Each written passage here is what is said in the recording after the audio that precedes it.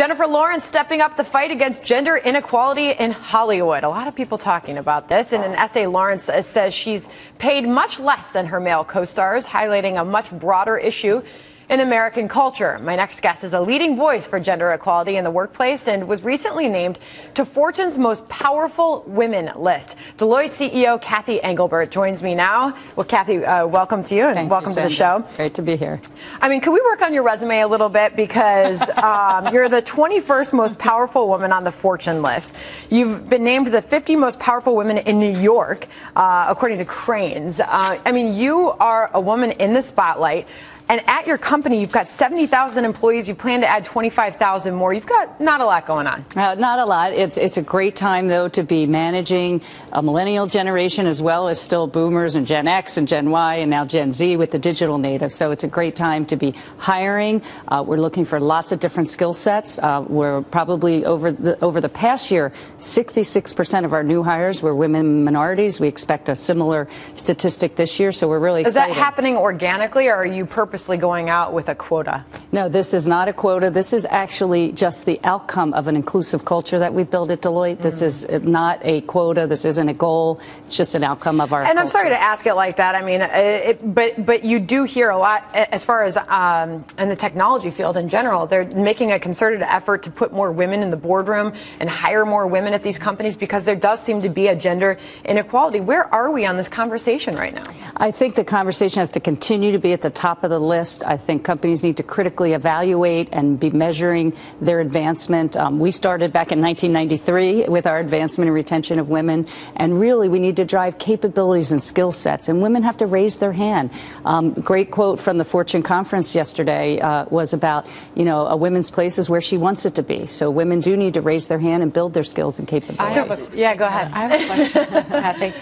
How do you know if you're a woman working in a company? How do you know if you are getting paid what a man is getting paid in the same job? That's a Jennifer Lawrence found out because of the Sony hack mm-hmm. and the leak of those emails, and she has representation. Even she has agents negotiating on her behalf. How do you know if you're getting? Because you talk about equality. I think most women, if they knew that they were getting paid 20% less than a man in the, in the same job, they would go to their boss and say, "Hey, buddy."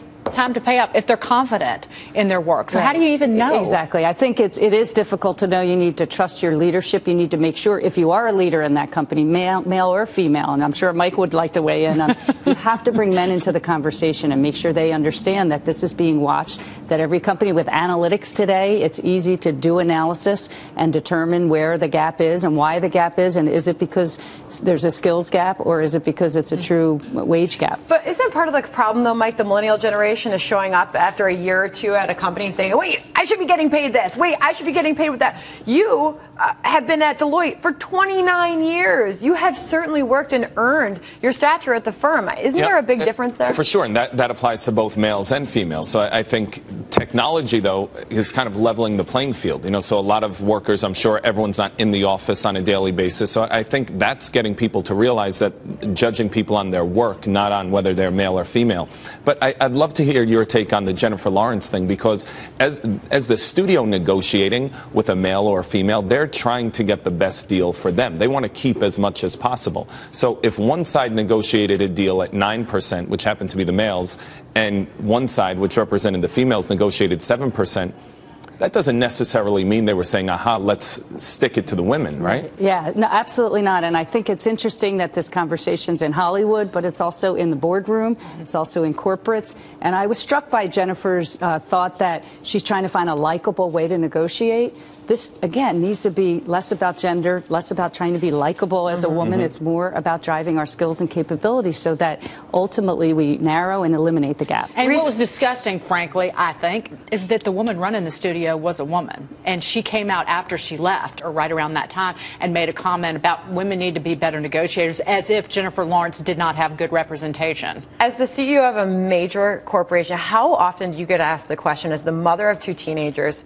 How do you do it all? Yes, a, a lot. And there's there's such this, you know, having it all. And I talk about having it all is defined by somebody else doing it all is defined by you and what you want to do. So women need to determine what kind of balance, and it's not linear over the course of, you know, my kids were newborns versus toddlers. Mm-hmm. I needed a different level of flexibility and predictability than I do today with teenagers when they don't look at me when I walk in. Such a fascinating conversation. Cathy Engelbert, CEO of Deloitte, thanks for bringing Thanks, the, the subject to us this morning.